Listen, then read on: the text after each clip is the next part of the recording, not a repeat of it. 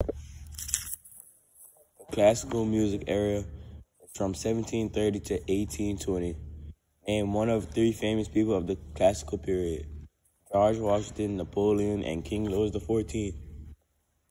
These four classical artists, Francisco Goya, John Constable, Eugene Delacroix, John Honro Frank, Fragonard. What does classical mean? Beginning in the 750, 750 artists, musicians, and architects wanted to get away from the opulence of the Baroque period and gravitated toward the uncluttered style of classical Greece. The aristocracy be the main patrons of the arts. Absolute music, which is music that is written for music's sake. The center of classical music was Vienna. There was also a sense of nationalism in the composer. There's five of the nine musical characteristics use of comic and witty, great attention to musical form, use of modulation, opera, a strong sense of tension.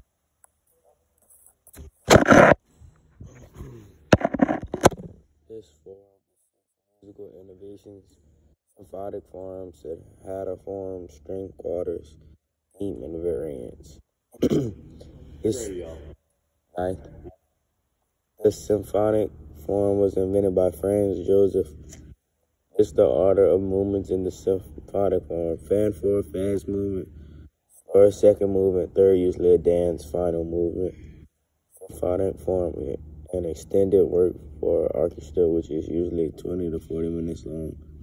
Sonata form, a movement piece for a so, so, solo instrumental usually accompanied, accompanied by a piano.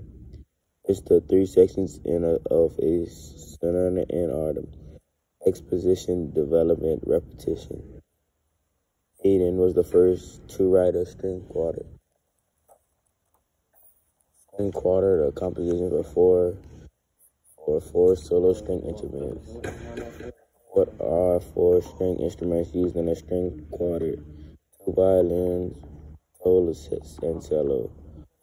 Opera is essentially a music play with all of the words sung instead of spoken. Who was the most influential composer of the opera compositions? Mozart. Name one of the operas discussed in class. Magic Flute. Christopher Willibald Gluck, 1714 1787. Franz Joseph Haydn, 1732 1809, Wolfgang Mozart, 1756 to 1791, Ludwig van Beethoven, 1770 1827, Franz, 1797 1880, 1828. Name four of the instruments of the classical period.